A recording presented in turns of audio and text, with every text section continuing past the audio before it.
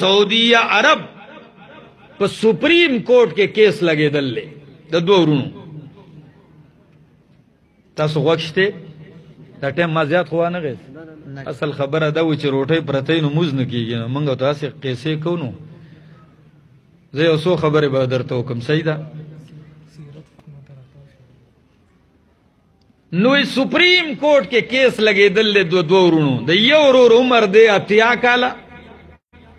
او د بل عمر چې دی داغه نه کم دی 50 کاله به داسې کیس په سشي دی کیس په دی لګیدل دی جج حیران دی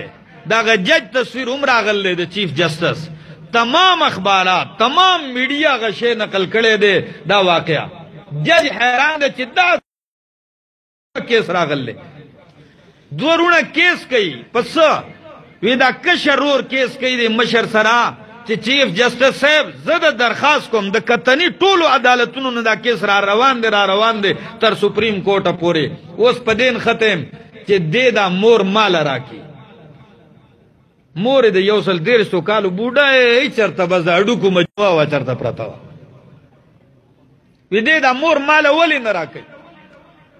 جج وی سړی زه خو تاسو حیران کړی مې چې دا تاسو په څه مصیبت کې نختی یې په سم کیس ته هغه وی جج صاحب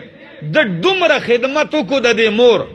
اوس دې پخپل د اتیا کالو بوډا دی بیمار دی کمزور دی اوس د مور خدمت نشي کوله نو ما التجا کړې دا چې دا موقع مال عمره کدا جنت یوازې ته ګټې د الله بنده زما هنشته زما خو هم مور ده نو مال ولې نه راکړه چې اوس زه سنبال کم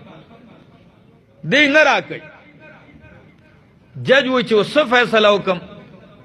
وی ته وای هغه مشر ورته هغه وی زه کمزور یم بیمار یم زبا په دې مات ګټ اډو کو باندې د مور خدمت کوم خود دې په وجہ چې زه کمزور شم مور پرې مور پرې دم نشم پرې خوې نو غي وسوکم فیصله دا ده مور ولا راولې په ویل چیر کې هغه وی چې تقریبا یو 30 35 کیلو وزن به وو و چې شوی و دا ډوکو یو ډانچه وا 30 35 کیلو وزن دغه مورې دی دغه راوستا سپریم کورټ ته عدالت ته جج وی هغه مورې ته چې بوډه مورې تا د دې بچو څنګه تربیت کړی دی ما ژوند تیر کو ما په قضا کې داسې فیصله نه ده کتلې تا څنګه تربیت د دې خپل بچو کړل چې دا پتا به جنگيږي یو وی چې مور مالا بل وی چې مالا دنیا کې خو حال دا دی وی مور ستاده مور ستاده او دا په دې دی اوس ته وای چې ته کم سره رضای زبر داغه په حق کې فیصله وکم مستوه مور په جړا شوې جج صاحب زما بچي ټول زما فرما بردار دي